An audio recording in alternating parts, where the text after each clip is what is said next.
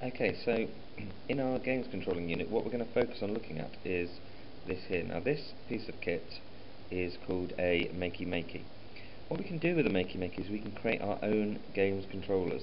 Okay, so you will be able to see these sections here for the up, down, left, right. Uh, that's actually the space you might be able to see in the click. And we can attach electronics to those to complete a circuit with the earth section and then use that to make our own games controllers. Okay, so I'm just going to show you how to do that using a button and using the space key. Okay, so the first thing I want to do is I want to plug this in. So I've got a cable here. Okay, it's a red cable. One end is a USB cable. That's going to go down here, right down here into the USB port. Okay, bring that back up where the Makey Makey is.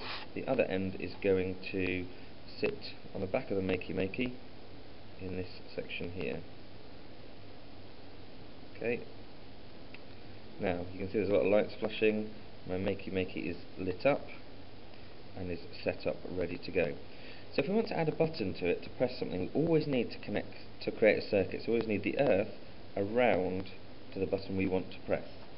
Now I have got for you uh, some of these special buttons that look like this. So this is a, a blue one. There is also yellow and there is also uh, green ones as well. So you've got three types of button. So let's take the blue for the moment. Uh, so what I want to do is I want to use the pins at the back to connect that up to my Makey Makey. Now it doesn't matter with these buttons which ones I press, uh, which ones I connect. Uh, what I will need are some of these crocodile cables. So I'm going to connect my crocodile cables, one to each of these. So you can see then there's one to that one, making sure it doesn't cross over, and then one to the other one. And then from there the, one of these is going to go into the earth. Now you can do it two ways. You can either clip it in on like that. Okay or I find clipping it in like that makes it kind of a bit more secure except over here. Doesn't matter which one goes into the earth. Now the other one needs to clip onto the button you want to press. So I want to press the space. So if I go onto here Now that is connected. So I've got a complete circuit running from the space all the way around onto this button and back round onto the earth.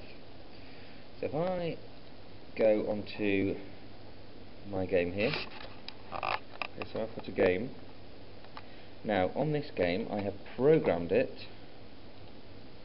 uh, there we go, using the keyboard. So I've got the arrows to move, I've got the keyboard space to shoot. Now we're going back to the keyboard rather than the game controller because this Makey Makey adapts the keyboard buttons. Okay? So it adapts the keyboard buttons for you. So now if I run my game, okay, and I'll try and swizzle around a little bit. Okay, let's try and move him around so you can see better. Now if I press this button, so I've got the button here, I'll show you in front. If I press it, you should be able to see up there that he is now shooting.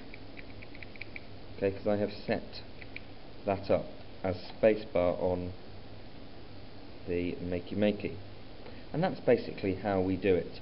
Now there are on the front of the Makey Makey there are the four arrows up down left right space and click. There is also if I take this off on the back of the Makey Makey so on the back of the Makey Makey there are other options as well. So there's A5, A4, A3, the earth is there, there's all the outputs, uh, and there's WA, SD, FG,